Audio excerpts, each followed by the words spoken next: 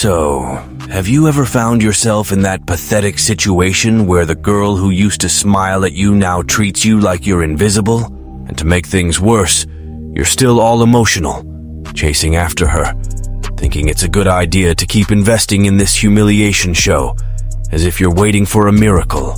Dude, pay attention. Nothing you do will change the fact that she doesn't care about you anymore.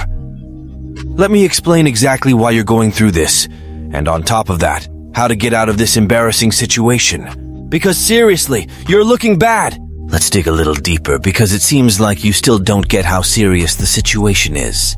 When you act like the nice guy, always available, always trying to please, you're not only giving her control, you're throwing away your dignity. That's right, dignity. From the moment you do everything to avoid upsetting her, to be the nice guy who keeps coming back even when she despises you, you stop being a man with values, with limits, and become her walking fan club. And listen up. Women or any human being don't respect someone who acts like that. It's not even just about physical attraction. It's an instinct. She wants to feel like she's with someone who knows what they want, who has opinions, who sets their own terms. When you're there, offering yourself up, obeying her every whim, what do you think goes through her mind? Wow, what an amazing man, always doing everything for me. No, she's thinking, another pushover I can manipulate without any effort. And then, my friend, it's all downhill from there. Because the second you turn into her little puppy, guess who's going to step into her life? A guy who doesn't care about being a people pleaser someone she will actually respect. And you know what's worse? You're going to see this happen, and you'll still think the problem was you, that maybe if you had been more affectionate or dedicated, things would have worked out. No. The problem is exactly that you were too affectionate, and she saw it as weakness. And let me be clear here. Respect and attraction are two sides of the same coin. If she doesn't respect you anymore, it's over. It doesn't matter how much you think you love her or how much you think you're doing everything right. The cold, hard truth is, if you gave her all the control, if you became her puppet, you've lost. She's going to despise you. She'll keep ignoring you because now you're predictable. And spoiler, nobody, absolutely nobody, feels desire for someone predictable and submissive. So instead of sitting there crying, why doesn't she like me anymore? Stop think, and change your attitude. I'm not telling you to turn into a jerk, but for the love of God, stop erasing yourself. Stop putting her on a pedestal like she's the last woman on earth. Because the more you kneel, the more she steps on you. Let's be real. This disdain you're suffering didn't just come out of nowhere, like you want to believe. No, sir. The signs that things were falling apart were there the whole time, but you, in your emotional blindness, chose to ignore them. Because of course you were so in love, so trapped in the illusion that everything was fine, that you overlooked everything.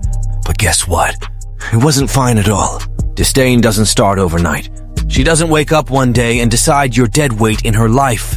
This happens gradually, sneakily. First come those innocent comments. You know when she says something like, I don't think you're the right guy for me, or I don't know if we have a future. You hear it, but what do you do? You laugh and think, oh, she's just venting. Those are the alarms, man! That's pure devaluation. And there you are, brushing it off, pretending they're just empty words. She's testing you. That's right. Testing how far she can push you, throwing those veiled criticisms to see if you'll react or stay in your bubble of delusion. And what do you do? You ignore it because it's easier to pretend everything's fine than to face the truth head on. And then, over time, the veiled disdain turns into something obvious. She starts treating you like you're a nuisance, someone she can barely stand, because deep down she's lost respect. She no longer sees you as the man you once were, the one with posture, the one she admired. Now, pay attention. Those little criticisms, those seemingly harmless comments, are clear warnings. She's screaming between the lines that things aren't okay, and if you don't take action, the disdain will grow, will take over the relationship, and then, my friend, it's over. You'll find yourself stuck in a relationship where you're treated like trash and wonder, where did I go wrong? Well, you went wrong back then when you ignored all the signs and chose to live in your denial bubble. So stop being dumb. These signs aren't trivial. They're a clear warning that you need to change the way you're handling the relationship.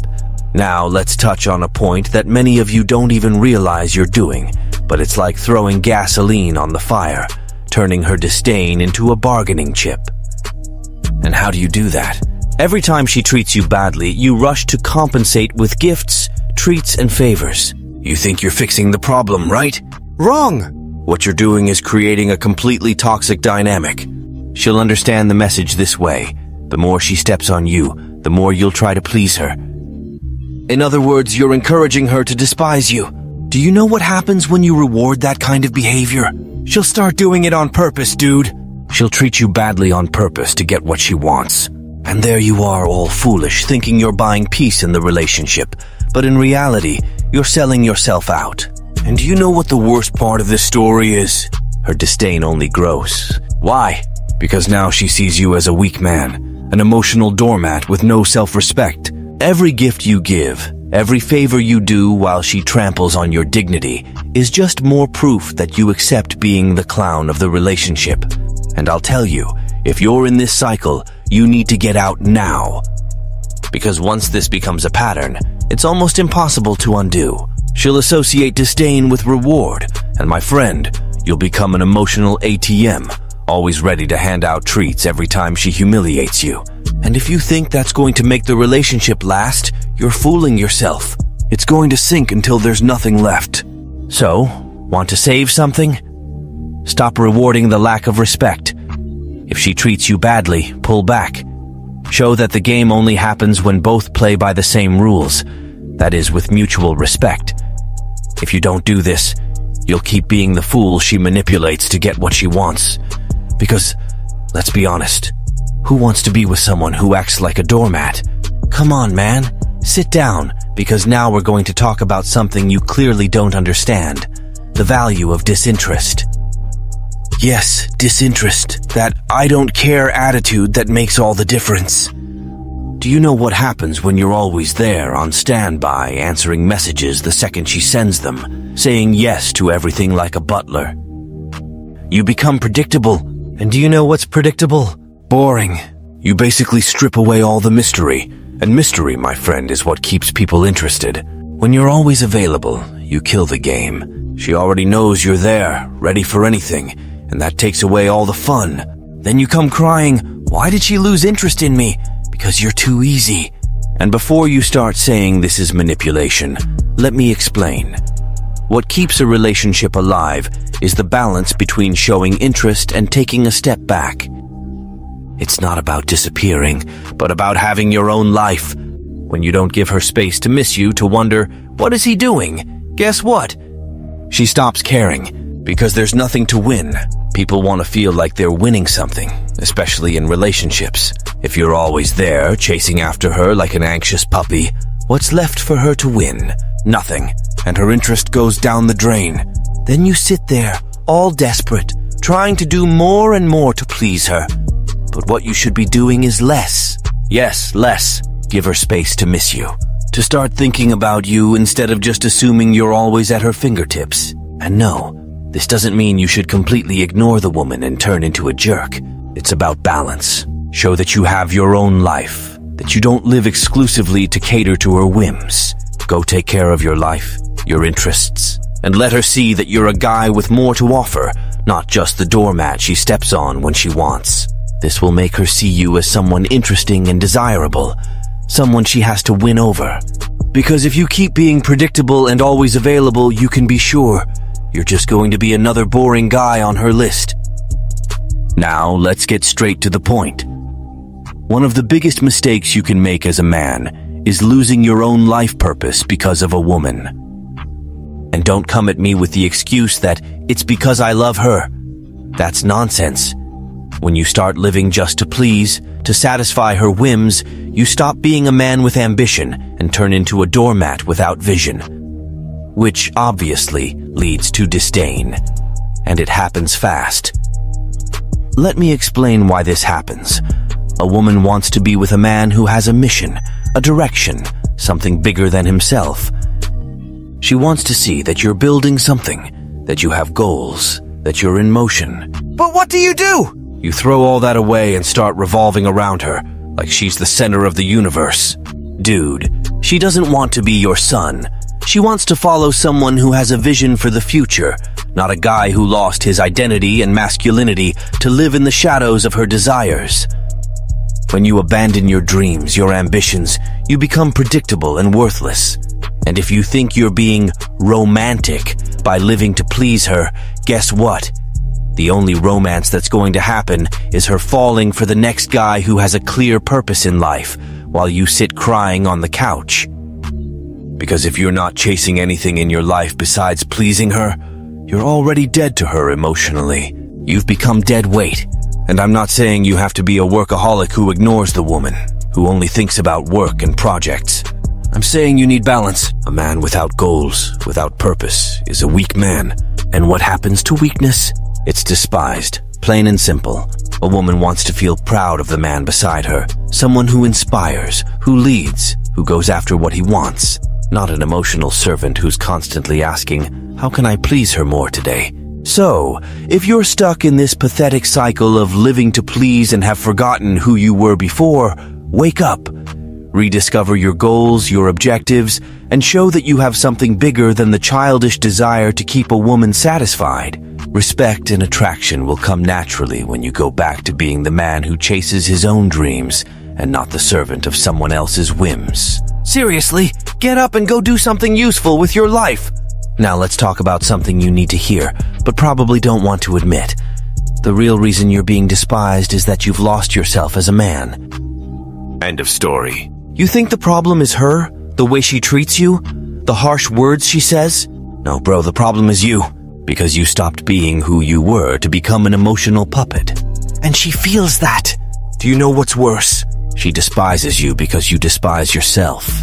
And that's exactly what I want you to understand right now. Look at your life. Where's that guy who had courage?